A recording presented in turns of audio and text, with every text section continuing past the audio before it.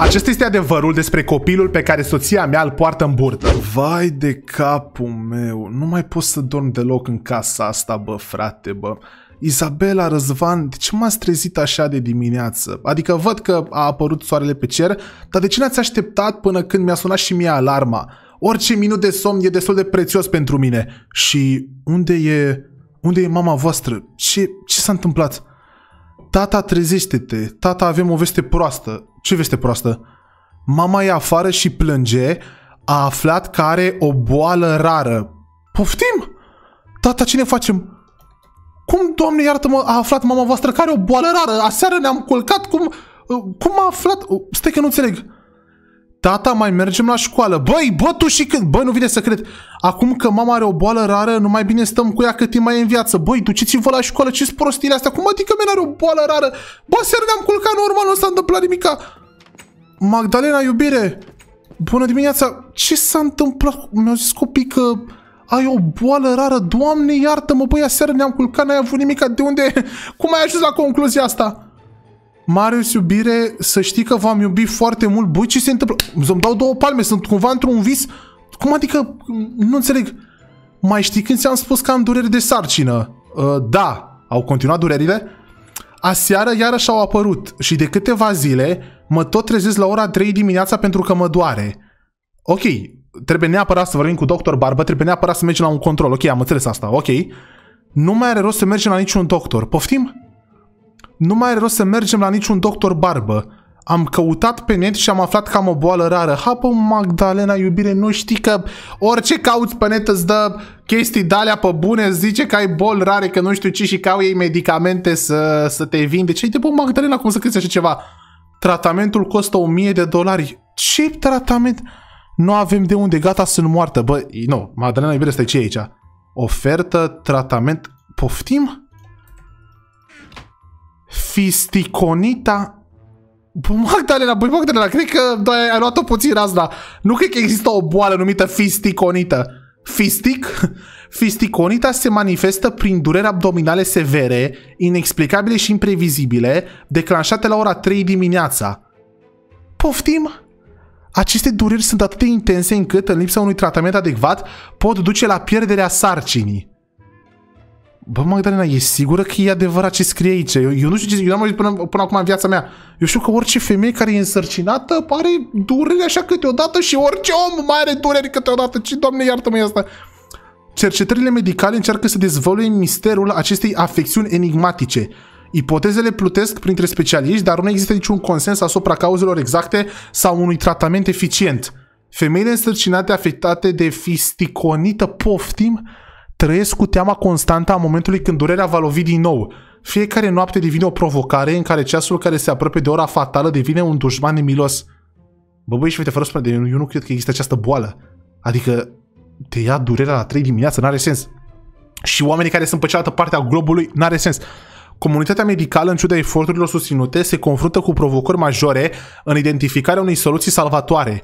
Cercetările sunt în plină desfășurare, iar speranța rămâne ancorată în descoperirea unui tratament sau unor metode de prevenire eficiente. Pentru femeile însărcinate afectate și familiile lor, fiecare zi devine o luptă împotriva incertitudinii și a fricii. Eu nu cred că asta e adevărat. Asistența medicală și sprijinul emoțional sunt esențiale în gestionarea acestei boli înfricoșătoare. Cu toate acestea, în ciuda riscurilor și a dificultăților, cercetătorii și medicii nu încetează să caute soluții, să, să-și concedeze eforturile și să aducă speranță în viața celor afectați de fisticonită. În fiecare zi se fac pași importanți spre înțelegerea profundă a acestei boli misterioase, cu speranța de a oferi în cele din urmă un tratament salvator. Bă, Magdalena, iubire, ai luat o razna și ce, ce e tratamentul? Hopa, au găsit și tratament? Suntem încântați să vă prezentăm rezultatele revoluționare ale cercetării noastre în domeniul medical. După ani de muncă și dedicație, suntem mândri să vă oferim acces la medicamentul nostru inovator, salvator, în lupta împotriva fisconitei, la un preț special de doar 1000 de dolari. Fix ce am zis eu, băi și fete. Băi, Magdalena, iubire, te rog eu, calmează-te, da? Calmează-te, iubire, e o mare țeapă, haideți mă, băi și fete, asta e țeapă de de anii 90, bro. Au inventat ăștia o boală fisticonită și ce să vezi, au și tratamentul pentru 1000 de dolari. Băi, asta e, cum îi zice fraților, ulei de șarpe, vorba aia. Um, Magdalena iubire, în primul rând, 100% ai dureri de sarcină pentru că ești însărcinată, da? În al doilea rând, nu te mai uita pe, pe Google, nu mai căuta pe Google dacă te doare ceva, băieți și fete, asta e și valabil și pentru voi. În momentul în care vă doare ceva, nu știu, nu căutați pe Google, n-are sens, e pe bune. Dacă chiar vă deranjează, duceți-vă la un doctor, dar nu căutați pe Google, doar vă, uh, cum zice, vă panichează degeaba. Uh, dar iubire zic, o să-i dau un mesaj doctor Barbă. 100% o să-i dau un mesaj doctor Barbă să te vadă că tot am zis de atâta timp, tot o amânăm chestia asta cu uh, consultația. Trebuie neapărat să mergi la un... Uh, ia, ce scrie aici? Reducerea durerilor abdominale. Ia, păzia. Medicamentul nostru a arătat eficiență în calmarea și reducerea simptomelor dureroase asociate cu fisticonita. Ai spune că reducerea durerilor înseamnă gen un uh, antiinflamator sau un calmant sau ceva de genul, previne pierderea sarcinii. Mamă, ce nesimțiți! Wow, ce oameni nesimțiți, băi și fete! Deci cine a făcut chestia asta, bro? E cel mai mare nesimțit. Îți bați joc. Ia, uitați aici. Nu pierdeți această șansă. Contactați-ne astăzi și asigurați-vă că beneficiați de această ofertă să fim parteneri în lupta uh, împotriva fisticonitei și să aducem speranță în viața femeilor însărcinate. Deci ce oameni nesimțiți își bat joc de femeile însărcinate. Magdalena, iubire, stai liniștită nu e nicio chestie de asta. O să vorbesc cu doctor Barbă să facem, uh, să facem un consult, pe bune că mai și panicat. Cum ai făcut? Tu ți-ai dat diagnostic tu așa noaptea asta. În fine, hai că eu să mă duc la, la muncă. Te pup și te iubesc că ai grijă de tine.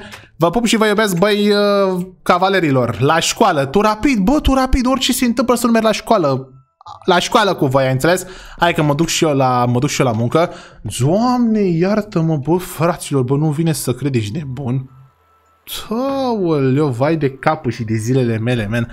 Ce nesimțiți, bă, voi vă dați seama, men, era să-i dea țeapă lui nevastă mea. Bă, da, ideea să-ți bagi joc de oameni care sunt, uh, cum îi spune, care sunt așa disperați, vă dați seama, ești uh, însărcinată, vrei ca copilul să fie bine prostit de astea, doamne, fii sticonită. Bine că n-au pus alunită, uh, cum îi spune, alt aliment, ouănită, căpșunică, căpșunichită, băi, băi, toate prostiile astea, în fine. Hai să lăsăm asta și să vedem, mamă, băi și fete, nu uitați că pizzeria merge destul de bine. Hai să vedem cum o să, cum o să ne descurcăm cu comenzile în această zi. Bună dimineața, domnul manager. Văd că pizzeria tot merge bine, dar tot avem ceva aici. Numim niște, niște șoare, să spunem așa. Ce facem azi? Neața Marius din nou e singur la muncă. Dar până acum n-am avut nicio comandă. Opa! Păi ce s-a întâmplat? Bă, băi, cred că asta e prima dată când vin de dimineață și n-are nicio comandă. Habar n-am ce se întâmplă. Haide să așteptăm. Uh, hopa. Nu-mi spuneți că a murit afacerea, ești nebun? În fine, hai să așteptăm, domnule manager, orice ar fi, eu mă duc și livrez, nu e nicio problemă. Haide bă, domne, tu chiar ești nesimțit? Deci tu chiar faci așa ceva? Voi chiar faceți așa ceva? Bă, băi și fete, să vedeți ce s-a întâmplat. Deci astăzi am mers foarte, foarte prost la pizzerie. Am avut vreo 10 comenzi sau ceva de genul și eu mi-am terminat tura, asta a fost ultima comandă și de 15 minute stau aici pentru că le-am dat pizza lui ăștia și nu vor să-mi dea banii pe pizza, băi. Băi, oamenilor, ați gustat din pizza, dați-mi banii. Bă, pleacă de aici, nu-ți dăm nimic că am gustat o felie din pizza și nu ne place. Păi atunci dați-mi pizza înapoi dacă nu vă place. Cum adică dacă nu vă place, bro? Pleacă de aici. Bă, dați-mi banii pe pizza, bă, bă, bă, bă ne vorbesc, uh, chem poliția. Bă, nu-ți dăm nici pizza și nici banii. Data viitoare să învățați să faceți pizza. Hai, pleacă. Bine, las că vorbesc eu cu managerul Sebi, las că vedeți voi. Doamne, iartă-mă, frate, bă, deci nu știu ce se întâmplă cu pizzeria, dar nu mai face vânzări, băi și fete. Adică, ok, eu poate știu ce se întâmplă cu ea. Oamenii comandă o dată, văd că e pizza cu miros de șobolan din anumite motive și nu mai comandă a doua oară. Bă, ăștia chiar ne simțiți, nu mi s-a întâmplat niciodată așa ceva. În fine. Hopa! Am un mesaj nou, cred că ăsta e de la Doctor Barbă, ia, nu? Ia, hai să vedem care e treaba. Că am dat mesajul Doctor Barbă, băieți și fete, și am zis să neapărat să mă programeze undeva, să o vadă pe Magdalena, neapărat urgent. Marius, stai liniștit. Probabil Magdalena nu are nimica, doar niște dureri normale de sarcină, cum am zis și eu. Hai să ne vedem la locul secret unde ne-am mai văzut. Acolo să zic care e treaba. Hopa, mamă băieți fete, tare am impresia că, deci, doctor Barba a mai și zis asta și cred că acum o să-mi repete. Doar dacă vreau să mă angajez la el, doar atunci o să... Doar așa o să ajute pe Magdalena. Adică, fraților, mie mi se pare puțin simțit din partea lui, însă dacă o să-mi zică chestia asta, de, deci unde zis să ne vedem? La locul secret, adică acolo în spatele acelor case, nu? 100% la locul dacă cumva vrea să facă asta, Bă, nu știu, cam nesimțit din partea lui dacă stați să mă întrebați pe mine, dar cred că n-avem, uh, cred că n-avem altă variantă, în fine. Hai să mergem, uh, să mergem să ducem mașina, o să-l anunț pe managerul Sebi că s-a întâmplat o mare nenorocire, nu mi-au dat ea banii și na, sper să, sper să nu fie foarte, foarte supărat. Bă, dar ce oameni, men. Mi-au mi mușcat din pizza în față. Deci pur și simplu au luat o ferie, au mușcat, nu-mi place, nu-ți dau banii. Bă, poftim, cum să faci așa ceva, bă, frate? Cum să faci așa ceva? Domnule manager, am lăsat uh, mașina în față, ce să vedeți, ultimii uh, clienți nu mi-au dat banii. Deci, pe bune, nu i-am furat eu sau ceva de genul. Efectiv, au deschis, am livrat la, la niște muncitori acolo, în partea, în partea cealaltă, gen, la vreo câteva sute de metri de, de pizzeria noastră. Deci au deschis pizza în fața mea, au luat o felie, au mâncat-o și după au zis că nu, că nu le place. Pur și simplu. Și m-au lăsat așa, în, uh, cu ochii în soare. Poftim? Fai, am, păi am făcut reclamă, am făcut și mai multe. Iar băi, am făcut reclame, nu vine nimeni. Prima dată le-a plăcut pizza, după nimeni n-a mai comandat. Și dacă o să dau faliment, și dacă o să ajungem pe străzi. Domnule manager, vă zic o chestie, că până la urmă e și în interesul meu să continui afacerea ca să nu îmi pierd locul de muncă. Dar, nu știu, eu cred, deci eu doar cred așa, că oamenii au comandat pizza, au văzut că are miros de șobolan, având în vedere ceea ce se întâmplă aici, sau poate, doamne iartă-mă, ați scăpat dumneavoastră undeva printr-un videoclip niște șobolani și și-au dat oamenii seama și de nu mai comandă nimeni. Așa că vă rog eu, scăpați de șobolanii ăștia. Poate, dacă scăpați de șobolani, o să fie, o să fie totul bine. În fine, eu mă duc acasă la familia mea, băi și fete, o să mă duc să zic Magdalenei care-i treaba. Am impresia, băi și fete, că doctor Barbă vrea să mă întâlnesc cu el ca să-mi spună, cum îi spune, ca să-mi spună să, uh, să mă angajez la el, dar v-am zis, e o situație foarte, foarte complicată aici. Chiar nu știu ce să fac, nu știu cum să, nu știu cum să gestionez situația, dar ar fi foarte nepoliticos din partea lui Dr. Barba să mă ajute, doar dacă mă angajez la el. Adică, până la urmă, frățul, e vorba de viața soției mele, e vorba de viața unui copil care încă n-a fost născut, dar tot copil ești, ce zic, adică, na, mă panichez destul, destul de ușor. Hai să las aici bicicleta acolo cum plec acum rapid. Uh, bună seara, dragilor! Magdalena Iubire, am vorbit cu Dr. Barbă, chiar acum trebuie să mă văd cu el. Mi-a zis că probabil nu ai nimic, ai doar niște dureri de sarcină normale, dar acum o să mă duc să mă văd cu el. Marius, m-am uitat pe net și chiar boala aia nu există. Wow, șocant, da. Dar nu știu ce să zic. Doctor Barbo o să zic că să lucrezi din nou cu el. Nu mai bine mergi la un doctor normal. Ce spui? Băi, Magdalena Iubire, probabil asta o să-mi zică. Dar eu o să încerc cât mai mult să-i explic că, băi, nu mai vreau să lucrez cu el. O să încerc cât mai mult să-i explic asta. Acum nu știu dacă o să meargă sau nu, dar nu, momentan nu mergem la niciun doctor normal. Vedem pe viitor ce o să se întâmple. Tata, eu zic să nu te duci. Eu zic să taci din gură. Nu, nu Da, hai că o să mă duc.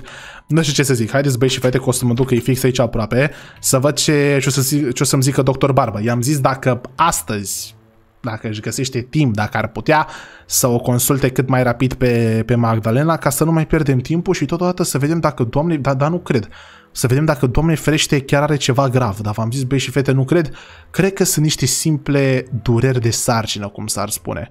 Ia uitați-l acolo pe, pe doctor Barbă. Uh, domnule doctor, uh, bună seara. Bună că mi-a citit mesajul, mi-a dat și mesaj înapoi, spuneți-mi ce facem. Marius, ascultă-mă. O să accept uh, pe soția ta la un consult doar cu o condiție. Eram sigur. Să te angajezi la mine, deoarece în câteva zile chiar vin în oraș. Și pe lângă asta o să vă ajut oricând aveți nevoie. Și salariul atractiv de 3000 de dolari. Ce spui, a? Domn doctor, dar v-am mai zis de mai multe ori că nu pot să fac asta. Pe bune, o să se supere și copiii mei și soția mea. Și pe lângă chestia asta este un job foarte, foarte riscant. Hmm, nu știu ce să zic.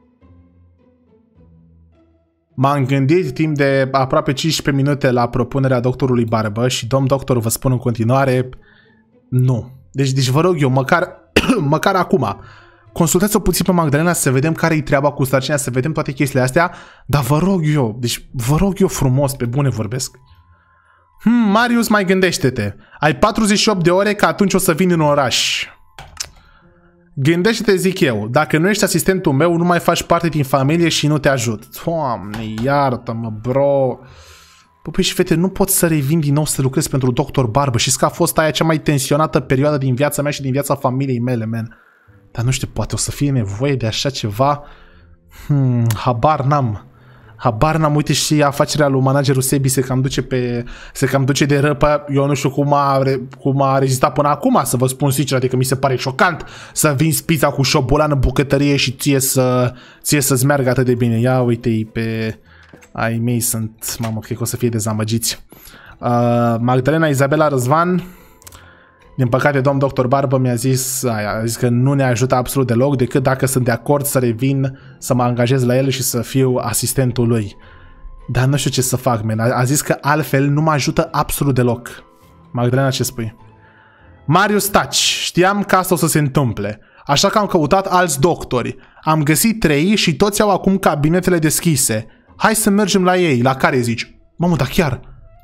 Și putem să mergem acum la toți? Chiar ai căutat? Ia uite, doctor Elena. Doctor Elena Vasilescu. Cabinetul medical Maternita, strada Margaretului numărul 25. Bă, băi, și hai să mergem la ăștia. N-aș vrea, adică n-aș vrea să îmi stric prietenia cu doctor Barbă, dar nici n-aș vrea să mă duc să lucrez la el. Băi, vă dați seama ce înseamnă asta. Dr. Elena Vasilescu este uh, o med- un medic specialist dedicat sănătății femeilor gravide, cu o experiență vastă în obs obstetrică și ginecologie, Dr. Vasilescu oferă consultantă, consultanță cuprinzătoare pentru viitoarele mame. Abordarea e empatică și atentă, ok, bun. Dr. Andrei, Dr. Andrei Popescu este un medic pasionat de îngrijirea femeilor gravide, cu expertiză vastă în diagnosticul tratamentelor afecțiunilor specifice. Ok, bun, băi și fete, fiecare își prezintă astea ale lui și Dr. Maria la fel. Dr. Maria Ionescu este un medic, bla bla bla. Bun. Bă, dacă voi v-ați uitat, nu știu, la care să mergem? A zis că toate cabinetele lor sunt deschise. Trebuie neapărat să aflăm Magdalena ce ai, adică eu sunt 100% sigur, ok, nu chiar, 99% sigur că sunt niște simple dureri, dar după, nu vreau să bag mâna în foc sau ceva, adică nu sunt medic, nu știu ce. Deci hai, hai mai bine, eu cred că cea mai bună decizie ar fi să mergem. Să mergem la doctor Elena, Izabela, ce spui? Eu zic la doamna Elena, bun, hai să mergem acolo. Avem timp să mergem mâine la școală, dacă mergem acum la cabinet, băi, băiete, băi, trezește la realitate, Răzvan. Ai timp să mergi mâine la școală. Bun, deci hai să mergem, fraților, la doctor Elena Vasilescu, o să chemăm un taxi și o să mergem pe strada Margaritului, numărul 25. Bun băi și fete, ne aflăm aici la cabinetul doamnei doctor și după cum puteți vedea este o coadă infernală. Acum sper să se miște rapid, vedeți că doamna doctor Elena este înăuntru cu o fată pe nume Roberta și aici sunt doar femei însărcinate care așteaptă na, să intre la control. Aoleu, câta coadă e și simt durerile și mai rău. Cât o să stăm aici? Doamne, iartă-mă, nu știu, bă, o să așteptăm lasă că în maxim o oră ajungem. Bă, oră e prea mult. Da, da, na, nu. Cred că, cred că o să fie o oră. Deci mai e Mihaela, de una, două, trei. Mm, da, mai sunt, mai sunt șapte, practic, cu aia dinăuntru în fața Magdalenei. Of, na, păi și fete, n-avem ce să facem, trebuie să așteptăm. Frați și surori, deci așa ceva este inadmisibil. Suntem aici de două ore și doamna Elena a mai luat doar două paciente în plus. Băi, fraților, adică mai trebuie să așteptăm încă șase ore. Mamă, băi și fete, nu, nu, nu, nu, trebuie, nu. Magdalena, iubire, suntem aici de două ore, nu s-a mișcat nimica. Cred că trebuie să apelăm la doctor Barba, cred că trebuie să-i zic că, că îi accept oferta, neapărat. Marius, mă simt rău, deja suntem de două ore aici. Cred că totuși trebuie să mergem la doctor Barba, cred că nu avem altă variantă, băi și fete, stăm aici de două ore, mi se pare ilegal ce se întâmplă. Hai să mergem, tata, în sfârșit, da. Na, băi și fete, o să-i dau mesajul doctor Barba. Oare e o idee bună? Nu știu. Hai să mergem acasă și o să-i dau și mesajul Dr. Barb. Ok, fraților, după cum puteți vedea, afară este deja noapte, sincer să fiu cu voi, nici măcar nu știu ce, ce oră e. I-am dat mesajul Dr. Barbă și i-am zis că, băi, m-am gândit mai bine, sunt într-o stare de, de disperare și accept să muncesc cu el. Acum, fraților, eu pot, după acest control, dacă totul este bine și Magdalena nu are nevoie de, nu știu, de asistență medicală pe un termen mai lung, eu pot să nu mă duc și să-l fi pe doctor Barbă, dar tare am impresia că nu vreau să mă pun cu el. Ia, uite că mi-a dat un mesaj. Vino la aeroport să vorbim. Băi, haideți că mă duc la aeroport.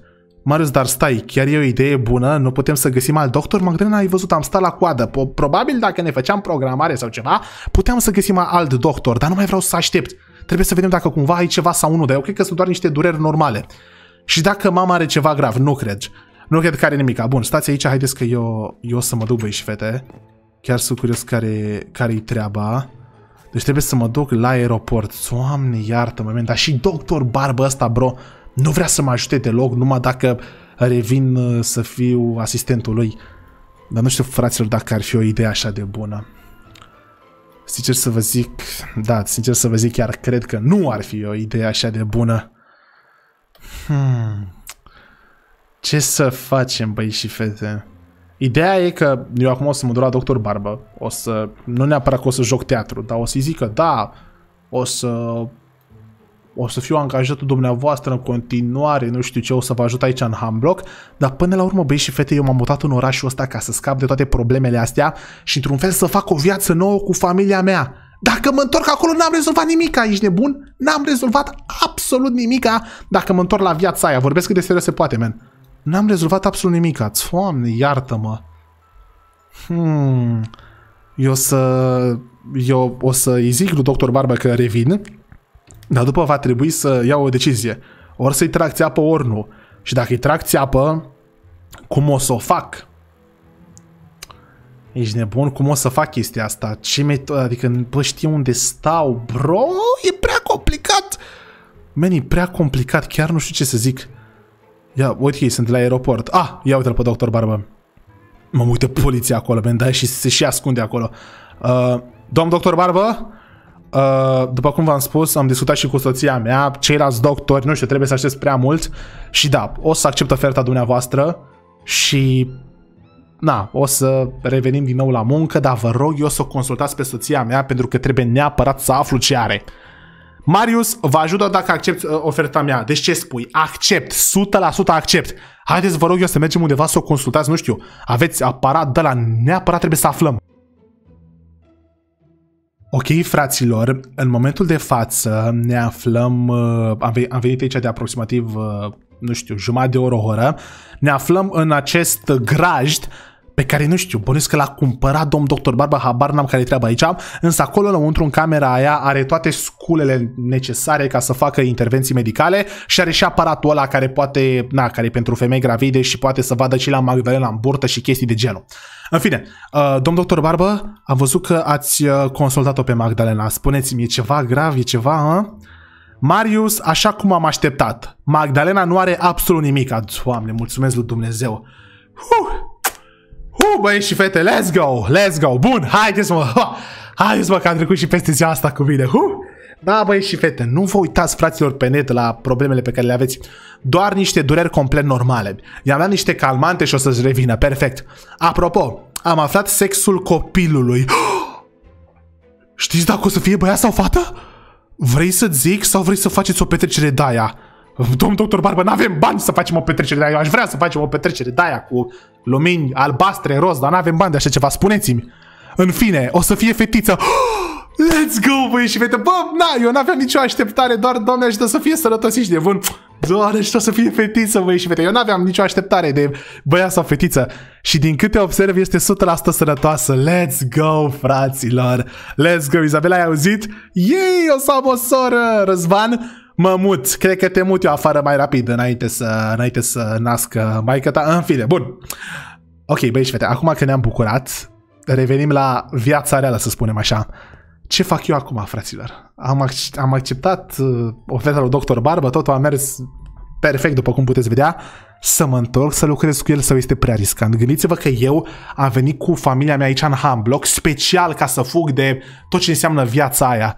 Păi și ce fac acum? Mă întorc la acea viață? Nu știu, băi, și fete, ajutați-mă, scrieți, vă rog eu la comentarii.